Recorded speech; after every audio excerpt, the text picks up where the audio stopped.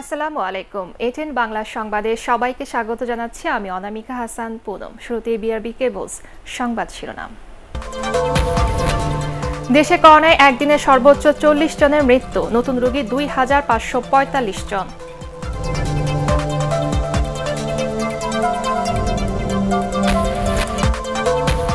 মাধ্যমিক পরীক্ষার ফল প্রকাশ। গড় পাশের হার প্রায় তিরাশি ভাগ। আপাতত এইচএসসি পরীক্ষা নেওয়ার সিদ্ধান্ত নেই সরকারের।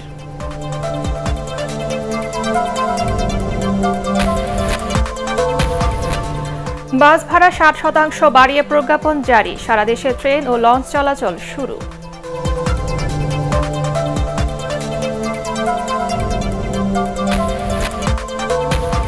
এবং করোনায় ক্ষতিগ্রস্তদের ব্যাংক ঋণের দুই হাজার কোটি টাকা সুদ মৌকুফ ঘোষণা প্রধানমন্ত্রীর।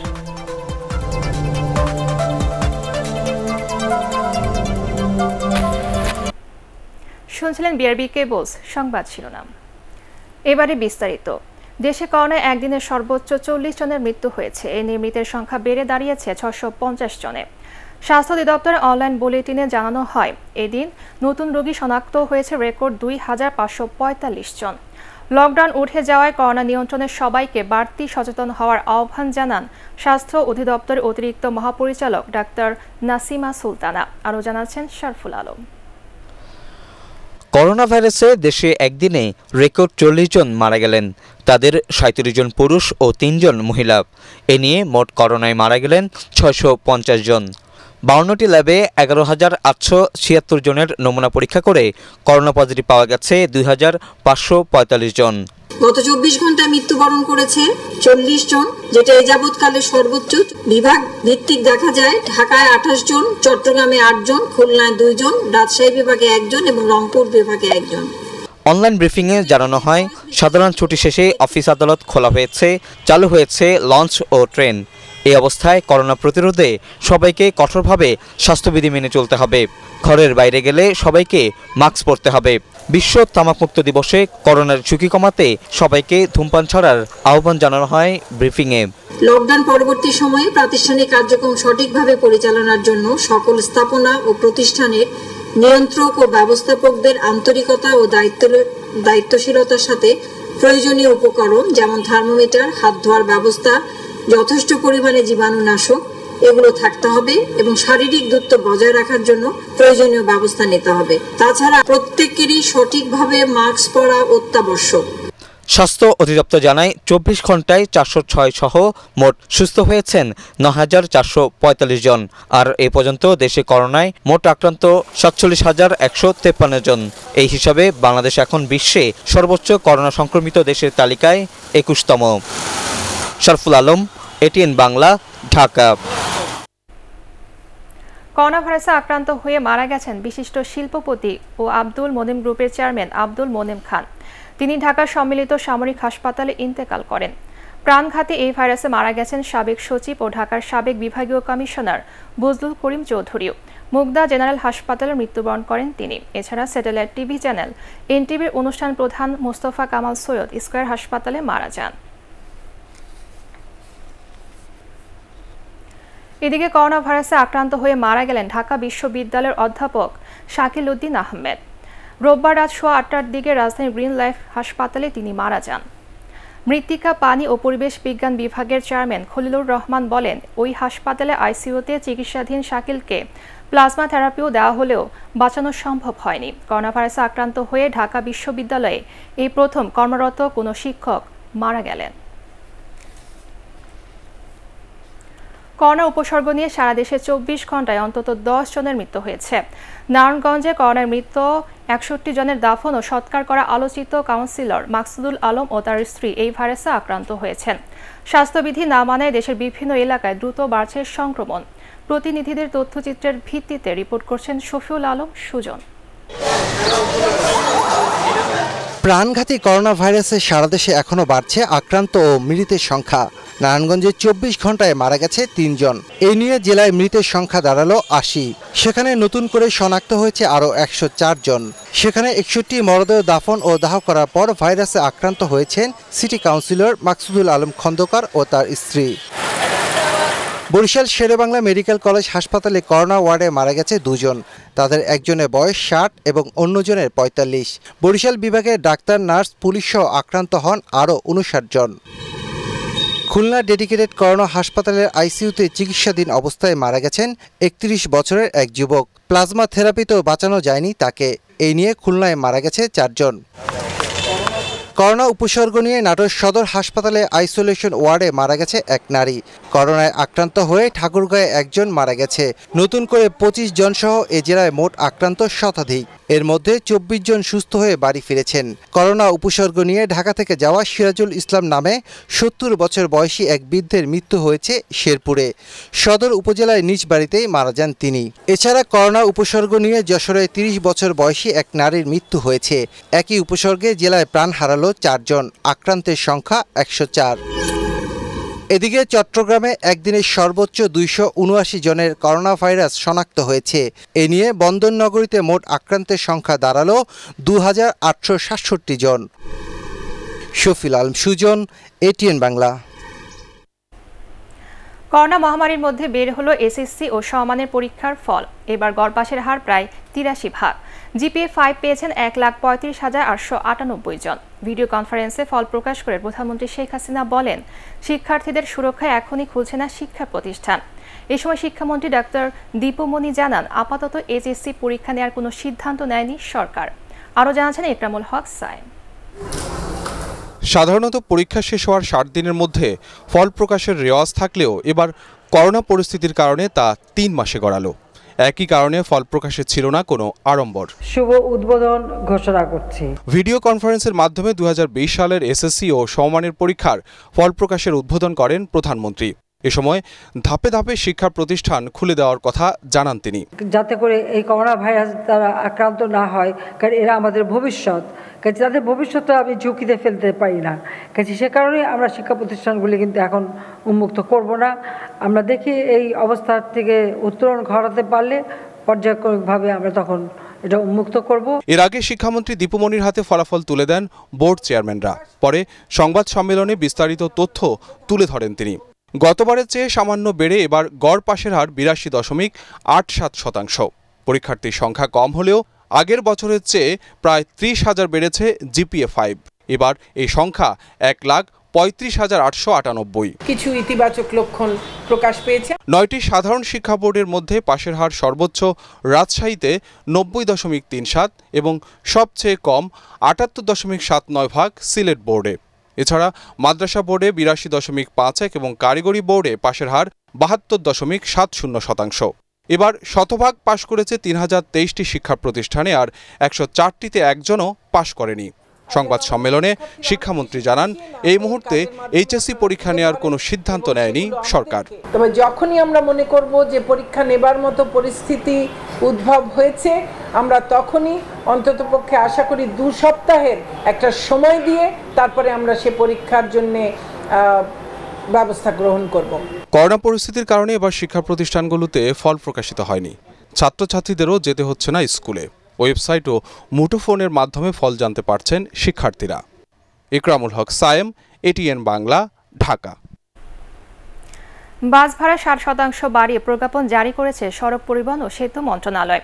বিআরটিএ আশি শতাংশ ভাড়া বাড়ানোর প্রস্তাব করলে তা কমিয়ে ষাট শতাংশ করে মন্ত্রণালয়। প্রজ্ঞাপন অনুযায়ী করোনার সময় দূরপাল্লার রুটে বাস বা মিনি বাস চলাচলে যাত্রী প্রতি কিলোমিটার সর্বোচ্চ এক দশমিক চার দুই বা ষাট ভাগ বৃদ্ধি করা হলো। এদিকে সরকার নির্ধারিত ভাড়া স্বাস্থ্যবিধি মেনে এবং অর্ধেক আসন খালি রেখে গাড়ি চালাতে মালিক শ্রমিকদের প্রতি আহ্বান জানিয়েছেন সড়ক পরিবহন ও সেতুমন্ত্রী ওবায়দুল কাদের। কর্মকর্তাদের সাথে এক ভিডিও কনফারেন্সে আওয়ামী লীগ সাধারণ সম্পাদক এই আহ্বান জানান। অর্ধেক যাত্রী নিয়ে পরিবহন চলবে জনস্বার্থ জনস্বাস্থ্য বিবেচনায় তার উপর স্বাস্থ্যবিধি মেনে চলার বাধ্যবাধকতা রয়েছে। যানবাহন ও টার্মিনাল জীবাণুমুক্ত করার বিষয়ে জড়িত।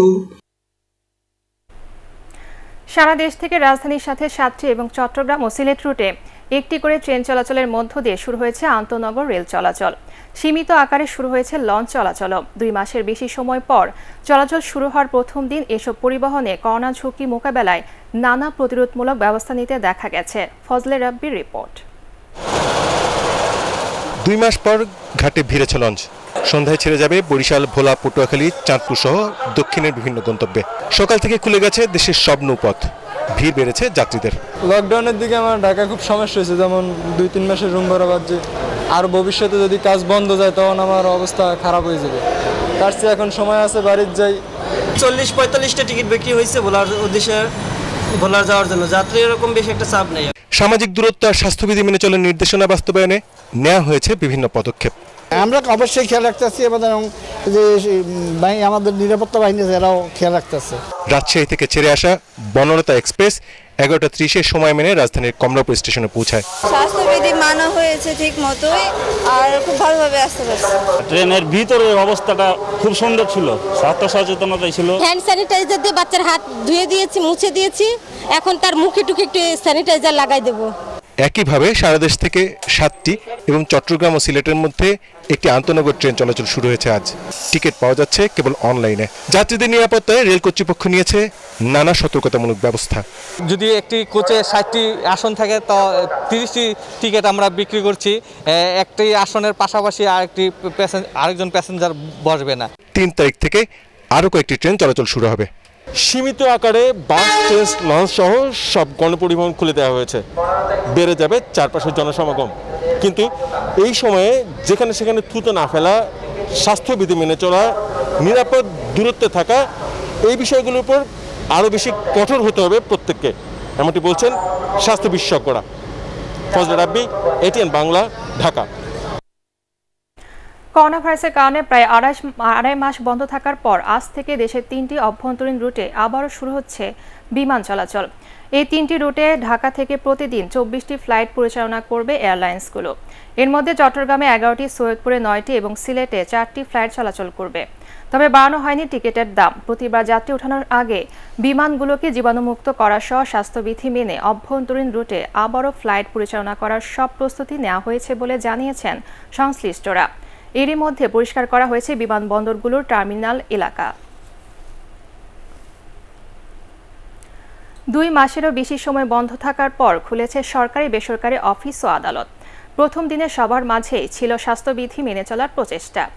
তবে সচিবালয়ে যথারীতি মন্ত্রণালয়ের কর্মকর্তা, কর্মচারীদের উপস্থিতি থাকলেও কাজের গতি ছিল অনেকটাই ঢিলে ঢালা। আপাতত ইস্যু করা হচ্ছে না, দর্শনার্থী পাস।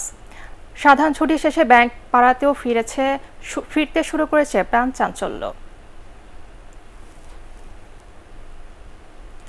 করোনায় ক্ষতিগ্রস্তদের ব্যাংক ঋণের সুদ মৌকুফ করতে নতুন আরেকটি প্রণোদনা প্যাকেজ ঘোষণা করেছেন প্রধানমন্ত্রী শেখ হাসিনা। নতুন প্যাকেজে ঋণের দুই মাসের সুদ স্থগিত করা হয়েছে। গণভবনে এসএসসির ফল প্রকাশ অনুষ্ঠানে তিনি এই ঘোষণা দেন। প্রধানমন্ত্রী বলেন, গত দুই মাস সবকিছু বন্ধ থাকায় ঋণের সুদ টানার প্রয়োজন হবে না। স্থগিত সুদের পরিমাণ ষোলো হাজার পাঁচশো কোটি উনপঞ্চাশ লাখ টাকা। এর মধ্যে দুই হাজার কোটি টাকা সরকার বাণিজ্যিক ব্যাংকগুলোকে ভর্তুকি হিসেবে প্রদান করবে বলেও জানান প্রধানমন্ত্রী। খেটে খাওয়া সাধারণ মানুষের কথা ভাবে না বলে বিএনপি দেশের সবকিছু অচল রাখার কথা বলছে বলে মন্তব্য করেছেন তথ্যমন্ত্রী ডক্টর হাসান মাহমুদ। সচিবালয়ের সংবাদ সম্মেলনে লকডাউন খোলার বিরুদ্ধে বিএনপির বক্তব্যের প্রতিক্রিয়ায় তিনি এই মন্তব্য করেন।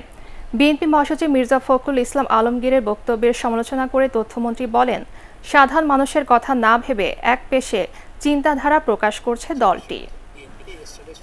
একটু মনোযোগ দিয়ে মির্জা ফখরুল ইসলাম আলমগীর প্রতিদিন নানা কথা বলছেন। তাদের বক্তব্যে মনে হয় তাদের চিন্তাধারা হচ্ছে এক পেশে। সেই জন্যই তারা কারফিউ দেওয়ার কথা মাঝে মধ্যে বলেন। আমাদের দেশ মনে রাখতে হবে একটি খেটে খাওয়া মানুষের দেশ। এখানে কোটি কোটি মানুষ প্রতিদিন উপার্জনের উপর নির্ভর করে। তাদের কথা মাথায় রেখেই সরকার সঠিক পদক্ষেপ নিয়ে এগুচ্ছে। গণপরিবহনের ভাড়া বৃদ্ধির উদ্যোগ করোনা পরিস্থিতিতে বিপর্যস্ত সাধারণ মানুষের উপর নতুন বোঝা বলে মন্তব্য করেছেন বিএনপি সিনিয়র যুগ্ম মহাসচিব রুহুল কবির রিজভি। নয়াপল্টনে দলের কেন্দ্রীয় কার্যালয় থেকে এক ভিডিও বার্তায় রুহুল কবির রিজভি এ মন্তব্য করেন। সরকার যে জনগণের প্রতি বৈরী তার প্রমাণ গতকাল শতকরা আশি শতাংশ বাস ভাড়া বৃদ্ধির প্রস্তাব।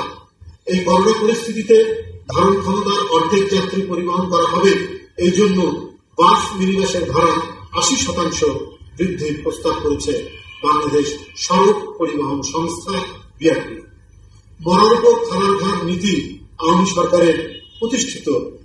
এবারে আন্তর্জাতিক সংবাদ।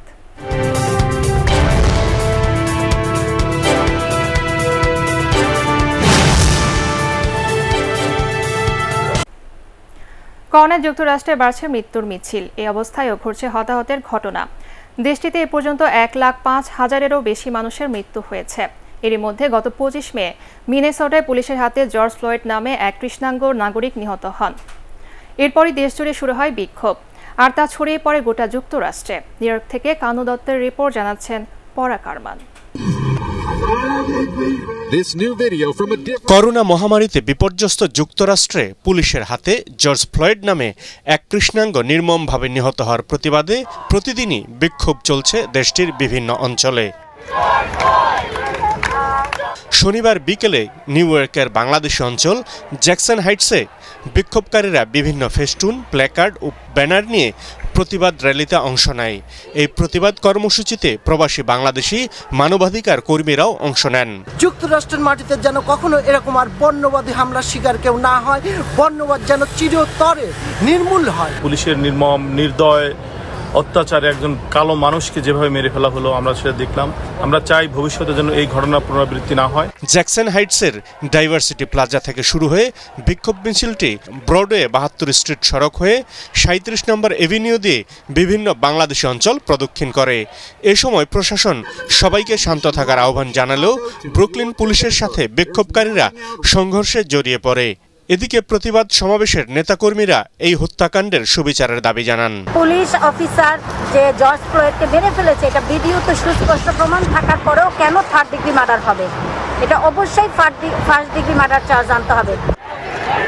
মানবাধিকারের জন্য সুপরিচিত যুক্তরাষ্ট্র তার ঐতিহ্য ধরে রাখবে এবং নির্মম এই হত্যাকাণ্ডের সুবিচার করবে বলে সংশ্লিষ্টরা আশা প্রকাশ করেন। পরাগারমান এটিএন বাংলা। এবারে পার্টেক্স খেলার খবর।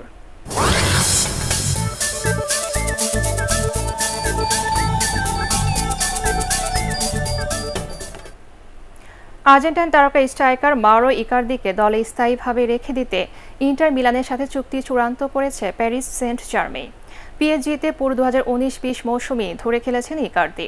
নতুন স্থায়ী চুক্তি অনুযায়ী ফরাসি চ্যাম্পিয়নদের সাথে চার বছরের চুক্তিতে স্বাক্ষর করতে যাচ্ছেন এই আর্জেন্টাইন তারকা।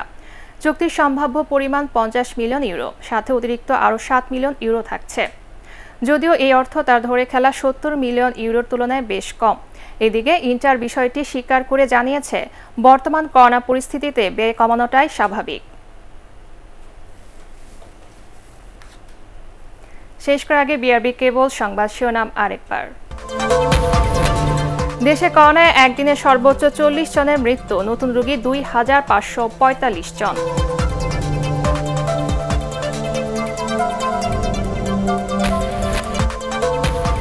মাধ্যমিক পরীক্ষার ফল প্রকাশ, গড় পাশের হার প্রায় তিরাশি ভাগ।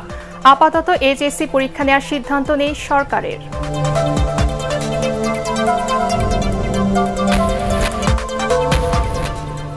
বাস ভাড়া ষাট শতাংশ বাড়িয়ে প্রজ্ঞাপন জারি। সারা দেশে ট্রেন ও লঞ্চ চলাচল শুরু।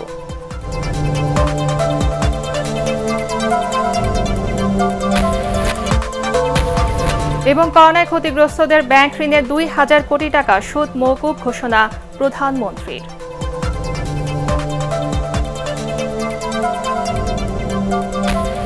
পরবর্তী সংবাদ দেখার আমন্ত্রণ জানিয়ে এখনকার মতো শেষ করছি। সবাই ঘরে থাকুন নিরাপদে থাকুন। এটিএন বাংলার সংবাদ ইউটিউবে দেখতে ব্রাউজ করুন YouTube slash ATN Bangla news